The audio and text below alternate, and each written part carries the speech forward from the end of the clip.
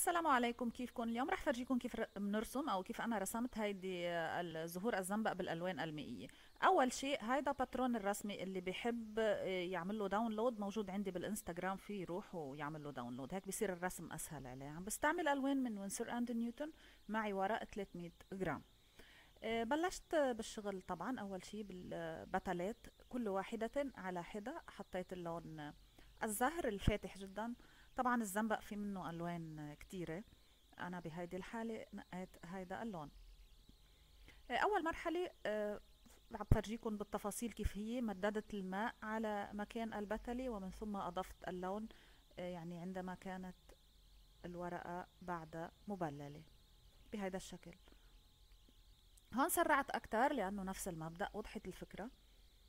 دايما بس نرسم أي نوع من أنواع الزهور حاولوا إنه يكونوا ببوزيشنز مختلفين يعني بوضعيات مختلفة. يعني مش كل الزهور دائما بتكون عم تنظر إلنا نحن شي بيكون عم ينظر إلى الخلف إلى اتجاهات مختلفة. آه، هودي البتلات الفوق بالزهور الفوق عم بيطلعوا إلى غير أمكنة. يعني أنا هون لا أرى وسط أو center of the flower وسط الوردة ما عم شوفها. فقط بالوردة الأمامية تحت نعم مبين آه، عندي أنا الوسط. قلبها يعني. أوكي هو كلهم نفس المبدأ. طبعا بنص البتلة آه، بيكون آه، بعض البتلات إلها هيك مثل خط واضح جدا من النصف يعني مثل عاملها فصل. هو هيك من تكوين هذا النوع من الزنبق الآن الآن عروق الوردات حطيت لون بني أضفت إليه اللون الزهري اللي استخدمته آه، للبتلات اللي هو من مشتقات الأحمر. هو أحمر وأضفت إليه كثير من الماء بيعطيني لون زهري بالألوان المائية. وحطيت أول لاير الطبقة الأولى آه، لعروق الوردات.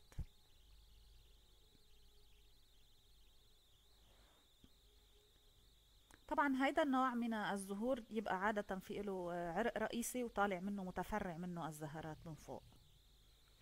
والورق من فوق ما بيكون في كتير آه، ورق. آه، في هيك قليل من الورق. أنا عملت لون أخضر مع البني مع القليل من الأحمر وحطيت هيك كم ورقة صغيرة بس هو يبقوا متفرعين من فوق حد الزهرات.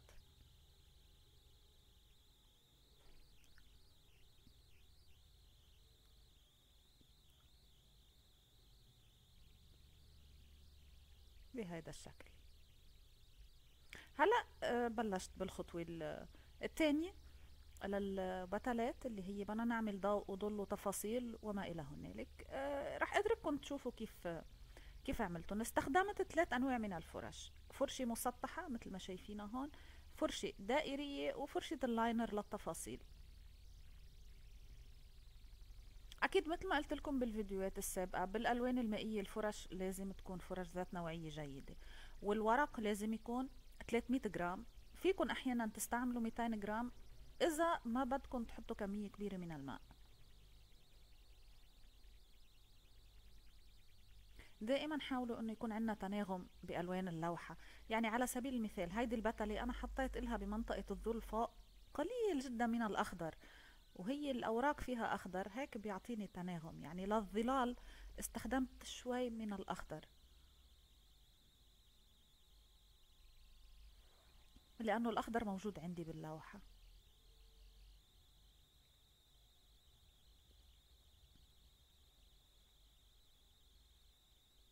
هذه هي الفرشة المسطحة. طبعا قياس الفرش آه، يعتمد على قياس الرسمة اللي انتو عم ترسموا يعني على المسطح اللي عم ترسموا عليه إذا المكان كبير أكيد انتو بحاجة لفرشة أكبر وإذا المكان أصغر بتصغر آه، قياس الفرشة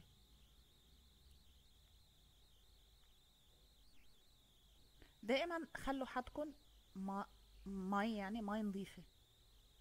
كل ما لقيتوها اتسخت شوي غيروها.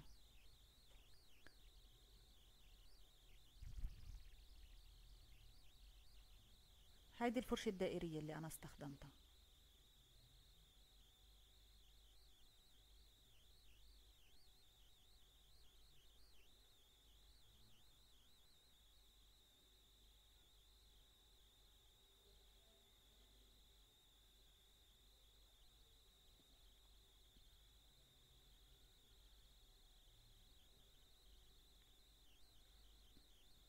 هيدي الوردة بشكل خاص بما إنها مفتوحة وأنا شايفة قلبها حبيت إني فرجيكم جميع التفاصيل اللي عملتها فيها لأنه هي تقريبا عضو رئيسي من من اللوحة يعني.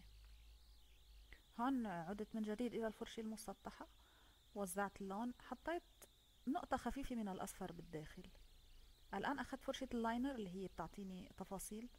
liner هيك بتكون رفيعة جدا.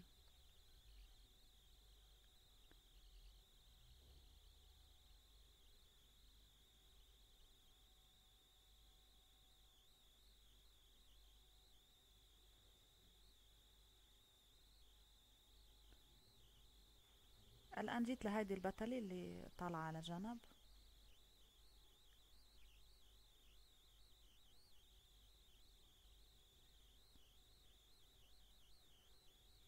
آه، الوقت الحقيقي يعني الغير مسرع لهيدي الرسمة هو ساعتين ونصف. أخذت معي ساعتين ونصف من الوقت. هلأ جيت لهيدي البتلة الرئيسية اللي أكتر شي يعني آه، فيها تفاصيل. لأنه آه، الرحيق هودي اللي بيكونوا طالعين من وسط الزهرة موجودين فيها تقريبا يعني. هودي هن. هودي بس تكونوا عم ترسموهم حاولوا إنكم ما تعملوهم متوازيين أو نفس الطول أو متجهين بنفس الاتجاه. يعني دائما حاولوا إنه يكون فيهم حركية بجميع الاتجاهات. طبعا من دون ما نبالغ. يعني نعمل قدر الإمكان قريب إلى الواقع. في حال عم نرسم رسم واقعي مثلي أنا هون. هون أضفت لهم الاصفر مع البني مع القليل من الأحمر كمان. من تحت طبعا غمقت ليعطيني انطباع إنه آه، مطرح ما كل البتلات مجتمعين تحت يعني مطرح ما هن بيخلقوا أكيد المنطقة فيها ظل.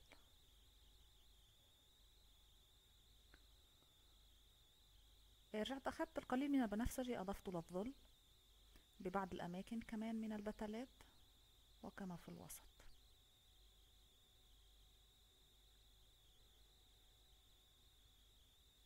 إذا بتلاحظوا أنا دخلت عدة ألوان يعني درجات الأحمر اللي هو هو الزهر يعني آه، دخلت اللون البنفسجي آه، دخلت اللون الأخضر لكن من دون أن تفقد لونها الأساسي الرسمي تبعولي أنا اللي هو اللون الزهري.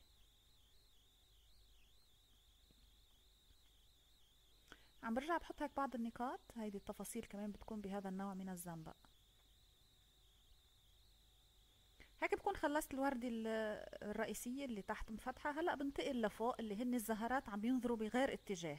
وفي منهم مش كتير مفتح في منهم مفتح شوي في منهم مفتح أكتر في منهم عم ينظر إلى الخلف. إيه، كمان بشتغل بكل بتلة على حدة. بحاول من منطقة أسفل إني أعملها أغمق ومن فوق آه، أفتح على أساس إنه الضوء جاي من فوق. وتفصيل هيدا الخط اللي جاي بوسط البتلي بخليه يكون بارز يعني. مثل هيدا اللي بالنص.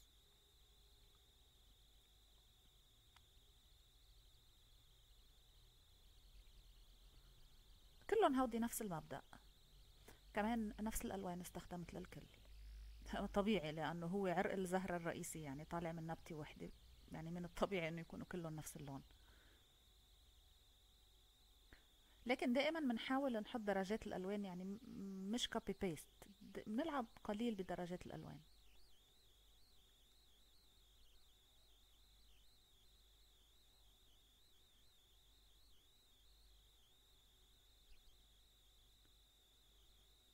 هيدا اللي هلأ عم بشتغل عليه هيدي زهرة زنبق لكن بعدها مسكرة بعدها مش مفتحة. غمقتها ببعض الأماكن أكتر شوي لأنه كان بدي أبرزها أكتر. هو هيدا النوع أو بعض الأنواع يعني بعض الألوان بس يكون بعده مسكر يبقى لونه أغمق بس يفتح ويتعرض للشمس بيبهت لونه. في منه بالعكس بس يسكر بيكون لونه فاتح بس يفتح آه، بيعطي اللون القوي.